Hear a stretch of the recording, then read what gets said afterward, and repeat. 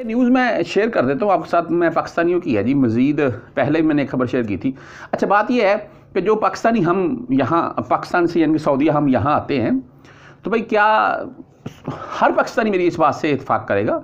कोई भी भाई, मैं बोलता हूँ कि कोई भी सेठ आदमी तो यहाँ आता नहीं है लेबर बस, या यहाँ पर आकर चलो को काम वगैरह सीटे। अल्लाह पाक की ज़ात ने रिज्क में इजाफा कर दिया और सेठ बन गया। अच्छी बात है, मेहनत की। अच्छा बात यह है कि हम वहाँ से जब आते हैं, क्या होता है? भाई, मैंने बहन की शादी करनी है, मैंने अपनी शादी करनी है, मैंने वालदा बीमार है, उसकी, उसके इलाज के लिए पैसे इकट्ठे करने, मैंने घर का घर बनाना है, मैं, मैंने ज़मीन लेनी है, मेरे घर अपना नहीं है।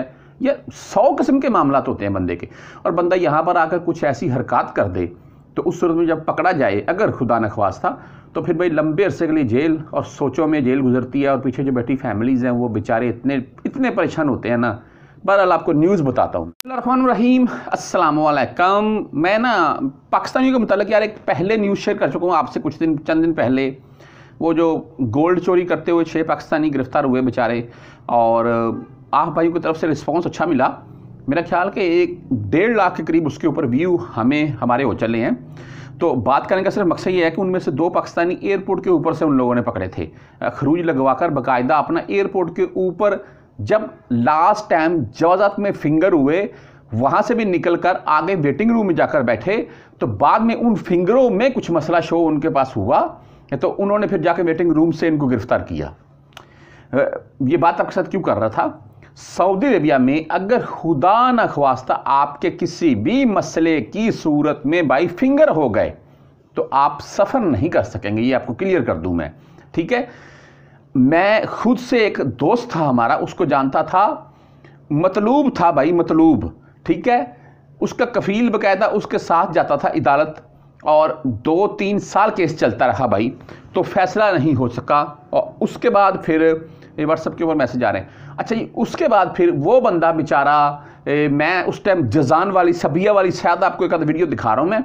मैं उन्हीं इलाकों में मौजूद था तो वो बेचारा जद्दा से किसी से बातचीत करके वहाँ पहुँचा और वहाँ से फिर किसी एजेंट के थ्रू यमन निकला और यमन के रास्ते बाद में पाकिस्तान पहुँचा। अच्छा खासा उसका खर्चा भी हुआ और पाकिस्तान तो वो पहुँच गया बहरहाल।